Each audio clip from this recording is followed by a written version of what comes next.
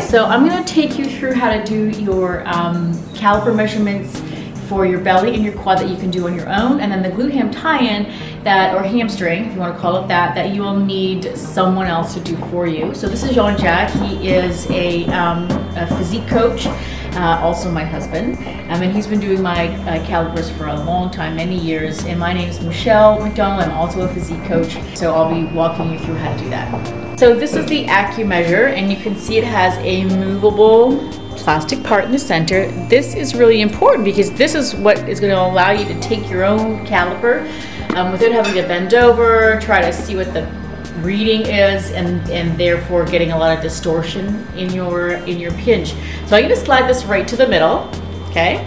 I'll be observing when this pops into the little slot and the moment that does that, I'm going to stop applying pressure. So um, I'm gonna do my belly. I always do the same spot, so I will tend to collect body fat down here. So I go over about one inch to the right of my navel and then one inch down, and that's gonna be where I'm uh, grabbing the uh, grabbing the pinch.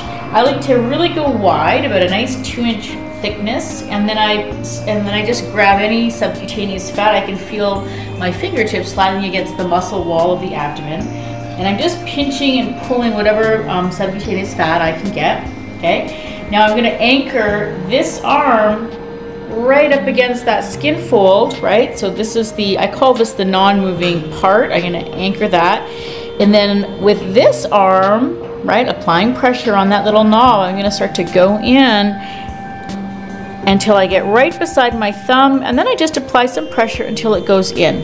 Then I let go of everything and then I read that. So I am at, looks like an eight millimeter pinch there. I'm gonna do two more measurements. That's an eight.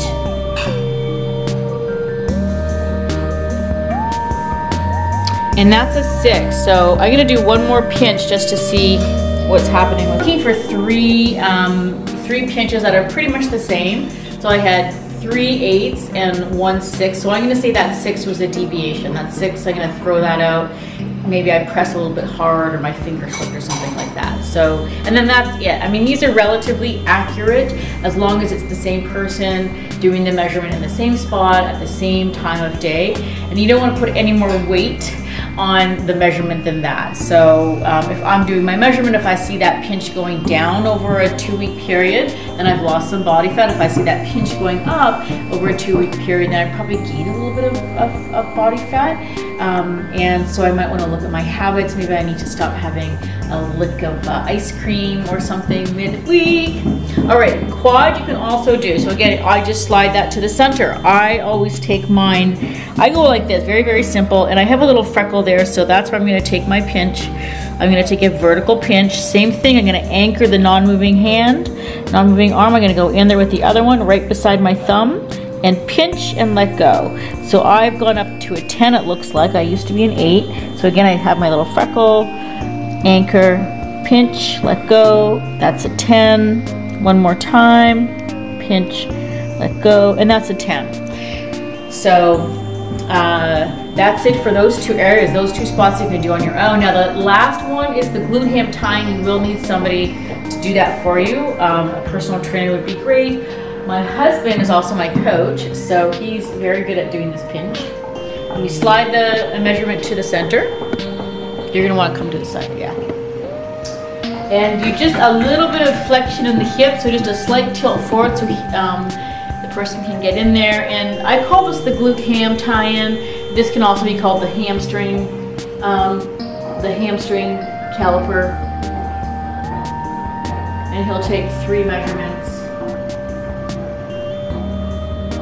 So the first one reads at 12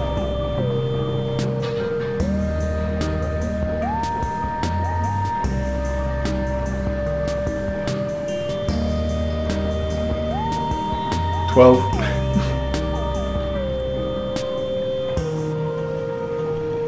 It's really grabbing. and 12. All right, so that's it. So that's how you do those three measurements. You can do the belly and your quad on your own um, and get a, you know, get a hot Fantastic. guy partner. to uh, do your, your glutes.